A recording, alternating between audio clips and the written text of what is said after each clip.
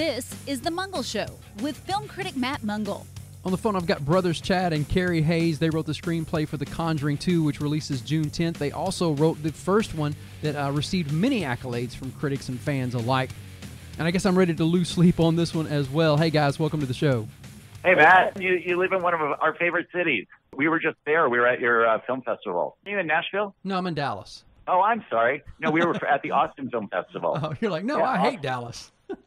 no, I don't hate Dallas. We've been there. Yeah, no, we, we went to the Austin Film Festival, so it's still Texas, right? Wait a minute, we were at WrestleMania, Oh, we were. so that was a big thing. Oh, know? dude, the latest one. Yeah, I was there. Was that not a trip? Jumping off that. Oh my plane? That was our- first time we're, we're doing a movie uh, with WWE. We got ten minutes, Trey. We Okay, should sorry. focus on Conjuring. Sorry, we can catch up on the other stuff. But yeah, we we loved it. It was a blast, absolute blast. Yeah, absolutely. Well, I'm glad somebody's keeping us on track and schedule here. Yeah. So yeah, I would talk about anything for any time. Well, uh, you know, uh, uh, we just did our weekly show yesterday, our full length show, and we were talking about you know June releases and obviously The Conjuring two and.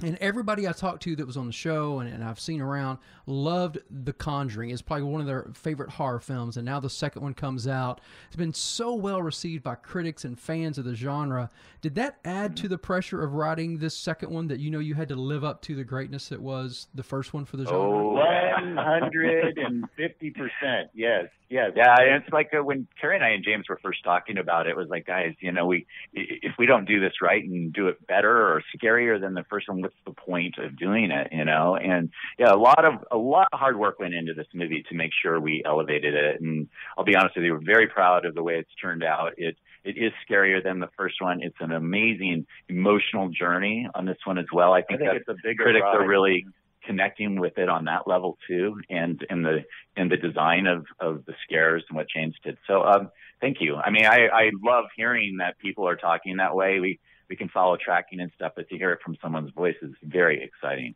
I appreciate that. Yeah, absolutely. Now, going back to even doing the first one, now that you had that one under your belt and doing the second one, maybe is a little different. But when you started to get into this genre, especially the Conjuring, all that I talked about, was there any reluctance in treading in these waters, especially because you're not doing something that's fictional? These are real people, and you're doing based on mm-hmm. their real life and things that they have faced. Is there any trepidation in going into those waters? I don't. No, we're so. believers. Yeah, I feel protected. You know, it's like how Lorraine worked, how Lorraine and Ed worked. You know, by having faith, you have power and authority to to uh, to not let these things into your life. So, um, no, I think it's just the opposite. We found them are actually rather compelling to get into it because a lot of the world has no idea this kind of thing goes on. They think it's just in storybooks and having been part of eyewitness accounts of things and our journeys and travels and writing experiences, you know, we know that uh, evil exists. We, we've seen it firsthand. And working with Lorraine and Ed, who actually had a full time career out of it, was was very compelling. And when you identify with these journeys, it's like why we like to stick to uh, true stories is is because you can relate to them on on, on particular levels. I mean, there's nothing in this movie that not that one person won't find that they can relate to. There's just so many different layers to it. And it's just fun to dig in and know that this happened to real people. And then when you interview them and you just find, you're just done, you're completely dumbfounded, you know, that it's real. But it's, it's, it's an interesting approach. It's why we, we, We've like written to- some very, very scary things and dark things, and Chad and I have been around the world and witnessed yeah, some even darker things, you know, firsthand. But you know, it's we never ever ever approach it going, oh, I hope we're not getting in over our heads here. hmm Except for the one guy say offered to but yeah, have a have have a demon possess us, and then he'll get it out. And I went, uh, I don't think so, but uh, thank you for that kind offer. Appreciate it. that's a true story in Wow. India that was offered to us. We are like, no, thank you very much. It's a low level demon. It's a low level demon. It's okay. Go, nah, I'm, I'm pretty good. I don't need to experience that.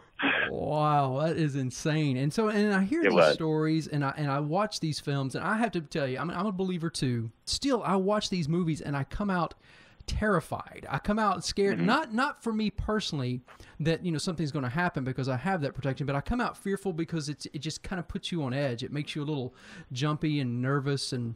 And then you talk to people who some people love that feeling, and some people they they don't want to wake up. They say, you know, that I lay in bed and I've had to pee all night, but I'm scared to get up and walk across the floor because, because of these images. You know what? Is, what is it about us that, whether believers or not, that draws us into this genre and makes us want to watch?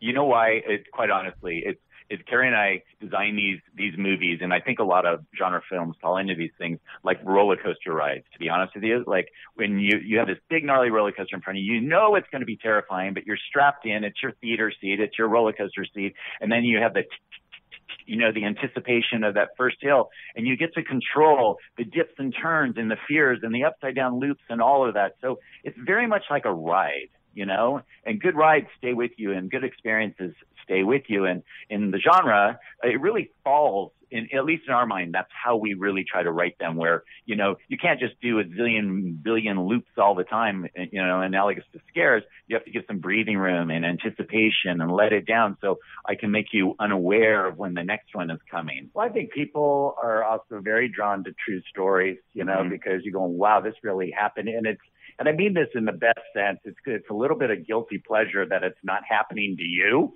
but you get to go for the same ride that they did. And I think honestly, it's like to to be super frightened and know you're okay because mm-hmm. it's not the real thing. As Chad said, it's a roller coaster ride. Mm-hmm. Is an adrenaline rush, and it's uh you know, and and again, and depending on how it ends, mm-hmm. you know, if it's a happy ending, then you walk out and you go, wow, I just saw a good story. Well, yeah, and and James is such he's such a great director in the sense that he's so visual. It's like a visceral experience, you know, and uh, and sometimes you can really connect when when they get under your skin. I mean, Carey and I sat in a screening a couple weeks ago with Patrick and Vera at Warner Brothers, and we purposely sat right behind them because we wanted to see what was going to scare the two people that literally were in every scene of the movie. And those guys jumped so many times, and we were laughing about it afterwards because it's like it's it still gets you, even though you know the story, you know everything about it. You still get you still get scared, and that's fun.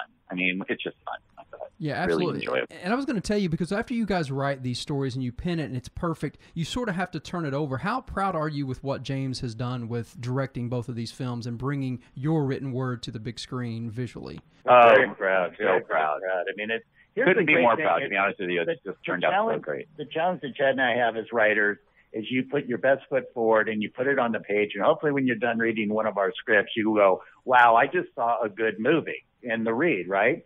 But then you hand it over to a director, and this is hap- does not happen all the time, but it did happen with James on the first one, where he elevated right on the right, page yeah. and, and and brought in you know what he was really good at, and so you know to to stand back and go, wow, he's made that into a really good movie is so rewarding because yeah. again we've been with directors there you go no man didn't get it didn't get it you know didn't didn't shoot the movie we saw in our head right you know so it's not always everyone's fault. You know, when you come on on a creative level, you have to have your own vision, and and you just hope that it's the vision that you wrote. And in James, uh, in Conjuring One and Conjuring Two, I would just say he hit it out of the park both times loved the first one as everybody did, and uh, I say love as much as I lost sleep on. But yeah, I'm excited to lose sleep on this one as well. And uh, and, and, so yeah, next time we catch up, we'll talk about the WrestleMania film. But uh, good luck with this. I appreciate that, Matt. Thanks, man. Yeah, I appreciate your time. You guys have a good one.